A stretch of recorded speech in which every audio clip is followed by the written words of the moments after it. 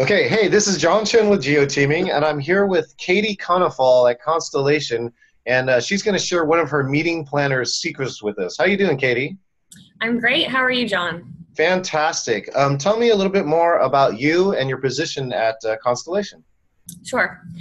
So uh, I've been with Constellation for um, about four and a half years and the current role that i'm in it's part of our sales strategy and enablement team. And within that role one of my big responsibilities is helping to coordinate a lot of the content that goes into the creation of our annual sales conference as well as a number of other meetings. And so that's planning the sales conference is how john and i originally got to know each other. Yeah fantastic. And too and so uh, how big is your sales conference? And um, uh, kind of what is the kind of the key goals of your sales conference uh, in the past year? Sure. So our our sales conference this year had about 450 attendees, which was on the larger side for our annual meeting. Um, going into the sales conference, um, there had been um, some organizational changes. We'd recently acquired a company. So um, I think a large goal of the conference was to share what the goals were for the entire retail organization to everyone at the conference. And so that included all of our uh, our salespeople as well as a lot of our support roles, so people that help out with marketing and pricing. Um, so just to communicate what the goals were for the organization going into 2015. We had a really successful 2014, and just figuring out how we were going to all work together as one team and be able to accomplish our goals for 2015. So we wanted everyone to walk out of there with a very clear picture of what those goals were and be able to go take action. So yeah, perfect. Communicate those goals and then integrate this new company as fast as possible, right? Exactly. Yep. Okay, cool. So what was the challenge that you had in the last year? Uh, one of the, the challenges you had at last year's conference? Yeah, so in the the conference uh, before this past one, we we did our our first trade show, and I wasn't in this role at the time, but a lot of the feedback I got was that um, you know we brought all these vendors um, and third parties that we work with to provide solutions to our customer to the trade show, and so we had a lot of you know a lot of experts in the field that were attending, and we had all of our sales force there, but we didn't have great participation as far as the time that people took to actually come to the trade show and then the participation and engagement level with each of our external vendors. So, one of the things that I was really focused on, this was my first year uh, helping to work on the sales conference and be a part of the trade show. So I was really focused on how we could increase our level of engagement at the trade show, get people excited to be there, and get people to really interact with all of our, our vendors so that they walked away having a better understanding of who those vendors were and how they could ultimately work with them to develop um, maybe solutions that we hadn't thought of before to solve some of our customers' needs. So basically, too, that's that's one of the challenges. You know, it, it, was so tough. I know you weren't part of it, but basically, someone put a lot of energy in collecting all the people for this trade show, and then, uh, you know, I think one of the key challenges was that that people left very early. Is that right? Exactly. Yeah. I mean, you know, there was, you know, I think we didn't the first year maybe do a great job of creating what that expectation was, and so yeah. people may have come for the first part, but there was really not a lot of incentive to stick around. So people showed up, um, but by the end of the trade show, or you know, even with an hour plus to go, um, there were really not that many people still there, and so that's you know disappointing internally as well as to our vendors that we brought in who have traveled to be at the event and are expecting a certain level of participation from our sales force. So I really, you know, my goal was to figure out how to get people to show up in the first place and then do everything I could to keep them there for the entire event. So how'd you come to the solution then? What, what did you see uh, or what led you to one of the solutions that you used for this conference? Sure. Yeah. So it was it was kind of a, an interesting process because we spent a lot of time. Basically had one night to work with, and that we went back and forth between with all the different leaders within the organization about what was how that night should be spent. Was it better spent doing a networking evening because we had a lot of new names and faces in the organization and it was important with everyone in one spot for people to have time to get to know one another? Or was it more important to do the trade show again and give people the experience of learning about what all of our, our different partners do? And people felt very strongly on both sides that there was value to each. And so, um, you know, I walked out of a meeting and just thought maybe there's a way to combine the two. And someone else um, within our organization who had attended um, a, a trade show had actually a book um, your book, John, on uh, about geo-teaming and the different options that you all provide. And so I sat there and just kind of flipped through it and went to the website and read about gamification, which was not a concept that I was familiar with at all prior to prior to the sales conference. And I kind of read through the information and thought, gosh, you know, this is this really sounds like something that would help us accomplish both of those goals. So it would it would, you know, help us solve the networking component. We could create missions that were designed to get people to network with each other yep. make it fun and then we could also incorporate the educational aspect that we're looking to achieve through through the gamification and the missions that we just design around all of the vendors that we're going to have there. So to me it sounded like an ideal solution. So i reached out to geoteaming and had the initial call and you know just immediately felt like this was going to be the right decision for us that's fantastic too. And so, and the speaking that I've been able to do, I've, I've, been doing a lot of polling around meeting planners around gamification. And then now it's finally, it was at around 40 to 50% about people who'd even heard about gamification. It's now closer to the 80%. But the number of meeting planners who's actually implemented a, a gamification program is less than 10%. So it really kind of puts you at the forefront when you selected this idea that gamification at these conferences is just really starting to show up, at least in the way that, that we're doing it, right? This is beyond the old punch card. This is, you know, high tech and, and worked on people's cell phones and, and other types of uh, elements for that. So, um, so we uh, talk about a little bit about the solution that we created for it, and then the results that you got from it. Sure.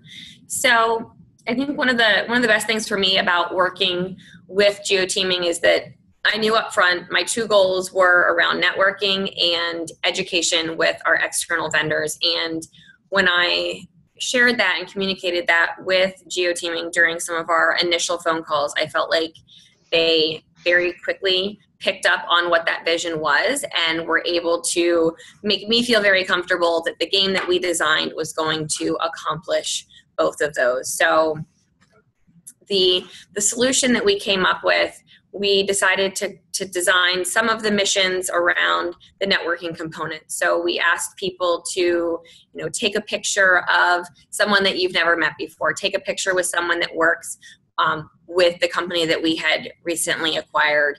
You know um, write down something new that you learned about someone that you didn't know before. So something that kind of you know force in a, in a fun natural way um, that interaction with people at the sales conference that, that you may not otherwise have interacted with. Um, and then to accomplish the, the networking piece we reached out to all of our we had 30 external vendors there. We reached out to all of them and and i asked them the question you know what's the most important thing that you want someone walking out of this trade show knowing about your company? Yeah and so for them, I think that was really appealing because that was their opportunity to say, okay, you know, here are the most important things about my company that if someone's going to want to work with me after this trade show, this is what they need. This is what they need to know, and this is what I want to be left in their in their memory.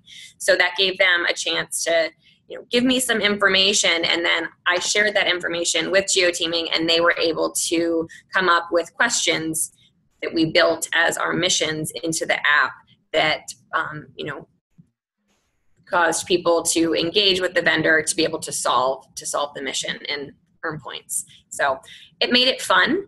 Um, it accomplished both of the goals that we were looking to achieve, and um, you know, doing it through through social media just felt you know it felt new to people. It felt innovative. It also really tied in with one of our themes of our sales conference this year, which was powered by innovation. Right. So that was the other piece that I think you know made this work so well this year we weren't using as you mentioned a punch card or a stamp as we had done in the in the past year this was something new something fresh and, and something innovative that tied directly to our theme yeah, just so, so people who didn't know that. So conference gamification, of course, is using game mechanics in a non-game setting. And in this particular case, we used a, um, um, a smartphone app uh, that ran on Apple and Droid, and it really had customized missions in there uh, that really got people to engage. And of course, they got points for it.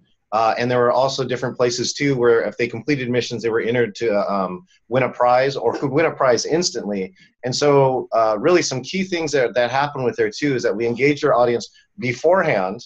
So we got them, you know, because it was a brand new program, we really found some advocates who started working on the program early. Uh, and then as we got there, we signed a lot of people up and and then making sure that we really got a high adoption with it. Um, some other things that we customized for you too was because you had the two companies coming together, we had the networking actually uh, with missions where one person from one company needed to meet somebody from the other company. So you're also achieving some of your goals about you know getting those people to know each other faster.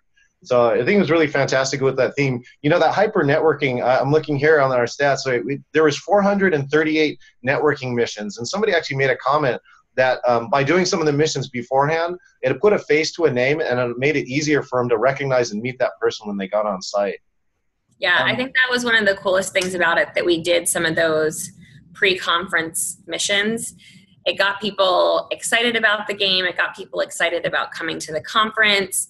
It helped people put names to faces that were you know a large organization and we're spread out over a number of smaller satellite offices. And so you know you you email with these people on a regular basis and for people to be able to see the app ahead of time and say oh my gosh that's that person that i reach out to regularly, but I had no idea what they actually looked like. Now I yeah. know who to look for when I get to the sales conference to go have a conversation with that I definitely want to make sure I meet.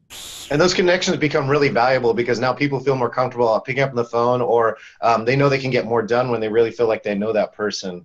Um, let's talk about one other item too. We, we, really worked on making sure adoption. So while we had adoption before the event, and of course uh, uh, while they registered, uh, tell us talk, let's talk about um, how you involved your executive management, and so they were bought into this program. Sure. So that that was obviously a, a key piece of this was getting our sales leadership to buy into this. The more you know, I felt like they had a presence on the app and things that they were uploading, the more I felt like the rest of our organization would buy into it as well. So prior to the event, I tried to work with all of our senior leaders to make sure they knew that this was happening, that they had the app downloaded on their phone. I said, "Can you just submit, you know, a selfie of yourself? Can you complete at least one mission prior to the event?" And I think most of most of them did that. And then at the actual event, um, I think you know, John, you had the great suggestion of doing some type of main stage support with one of our senior executives. And so we have um, you know one of our one of our senior sales leaders he's you know great on stage. And so he seemed like the right person to yeah. pick to do this that he was really gonna you know make it fun make it kind of silly engage the audience. So he got up there and we had um, you know, created a mission that would show up on everyone's phone ahead of time. So he got up there and he kind of kicked off the event. He told people what it was going to be. He was the last speaker prior to everyone gathering back in the ballroom that evening for the trade show. So it was the right time for him to be making this announcement. And he stood up on stage and he said, Now, everyone, you know, get out your phone, pull up the app. That mission popped up right away on everyone's app and it said, you know, take take a selfie of yourself with Andrew on stage. and so, you know, it was silly and he you know, probably made a funny face or something, but it got everyone using the app if they hadn't already been exposed to it yep. prior to getting to the sales conference. So I think I think that was huge. And just seeing, you know, Andrew that Andrew had bought into it, seeing one of your sales leaders up on stage doing it, I think made people even more um, excited about the trade show and you know gave people a reason to come back later that evening uh, to, to even show up at the trade show. Yeah, we had over, I think, uh, over 140 people who completed that mission, and everyone who completed it actually got entered to win a prize uh, of something I think that Andrew helped support. And so um, that small technique, uh, and it only took like maybe two or three minutes, but right. really had a huge impact.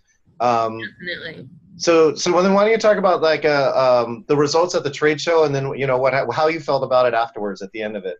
Yeah. So, you know, I think the evening the evening came to an end, and that was that was my big portion of the sales conference. So, in addition to being really relieved that the event was was over and I had survived through all of it, um, you know, I felt really great about it. I looked around the room during the event, and the room was packed.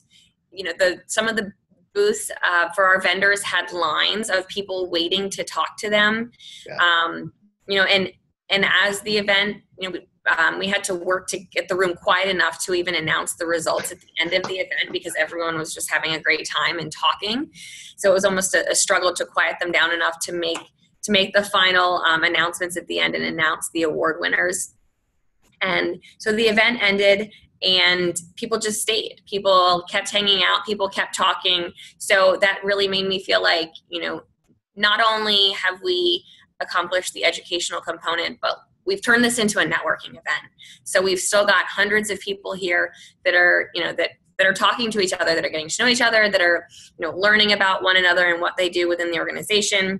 So I felt, you know, like it was a, a huge accomplishment. I was really happy with the way that the that the event had gone. I felt like from the very beginning, you all had understood my goals and really helped me to accomplish them. You know, our some of our, our senior leaders that came up on stage to give the awards, they were very pleased with how the how the app had worked and how the trade show had gone. I got yeah. a lot of really great feedback from them when we did our our sales conference survey. The oh. The app, and I probably haven't shared this with you, John. The, the app was one of the things that came out as a as a highlight of the conference.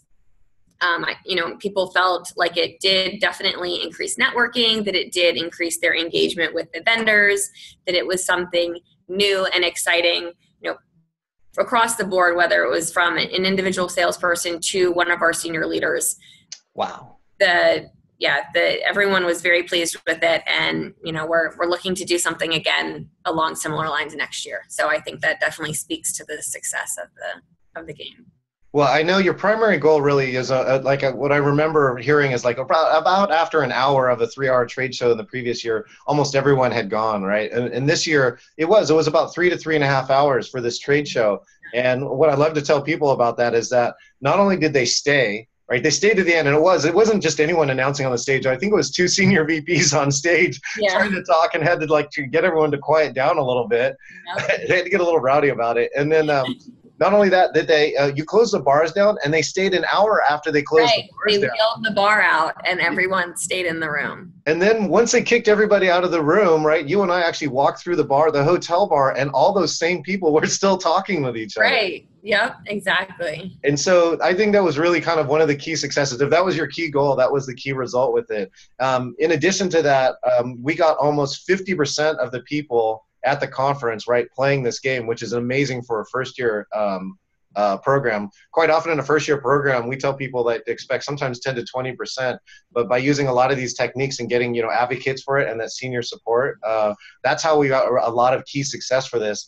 Um, there was also 937 measured booth visits. So those are just the ones we measured. There were still a lot of other people who weren't playing, but were still actively engaged uh, and meeting inside of all the booths. But it was nice uh, that the vendors had, you know, they could tell how many um, people that we got to their booth because of the game.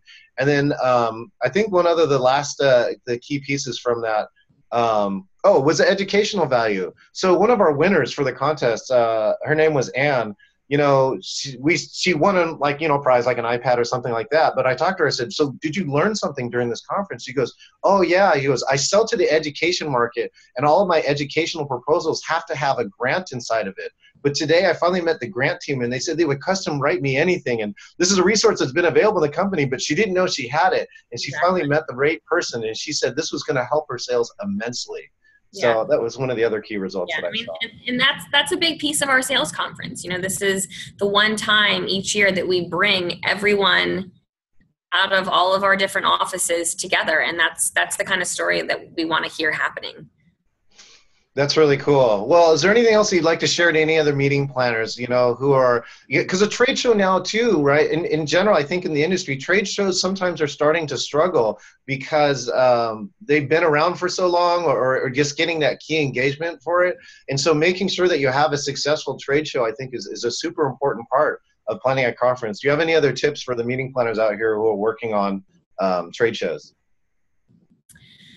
I think for me, one of the biggest pieces um, was just around making sure that you clearly communicate your vision and making sure that you and whoever you're working with to create that vision are yeah. on the same page. I think for me that was that was huge. The fact that I shared that vision and it was immediately understood and we could get to work right away on figuring out how we were going to accomplish my two goals is is a big part of what made this successful.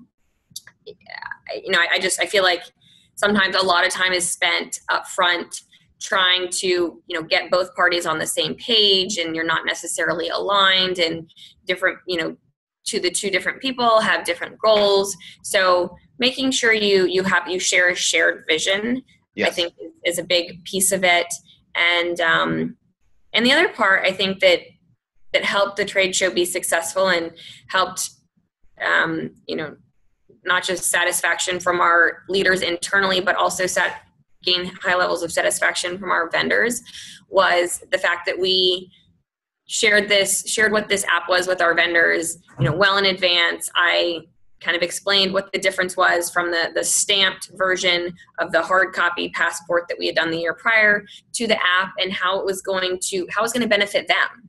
And by pulling them into it and making them feel like you know they could choose the pieces of information they wanted people to walk away with um, that really helped us be successful as well. So i think that across the board we were able to, to gain satisfaction from you know, our, our sales organization our leaders as our, our vendors and you know those are three important stakeholders so i think that by sharing that vision and have keep getting everyone on the same page early on that ensured the satisfaction of, of everyone yeah, so let me just I'll last with this I'll close with this last piece too, which is it really gets to the the key part, right? Where meeting planner is not just about logistics, but really the key that you've got here, Katie, that you're bringing to your company is that a meeting planner is is a strategic partner right? Helping to achieve um, that team and this and the company achieve their goals. And I think uh, out of all those things, that is the most important thing that that all meeting planners should make sure and position themselves for. And and by doing your goal setting up front and the um, the aligning of visions before you do anything else, really make sure that everything that you're doing fits in that place. Yeah, definitely. Cool. Well, thank you so much, time for your Katie. Yeah. I really appreciate your time, and uh, we look forward to the next time that we get to share another meeting planner secret. Sounds great. Excellent. Thanks, John. You're welcome. Okay, so cut. And uh, guess who just joined us? Jeanette. Hi, Katie. Hi, how are you? I'm good.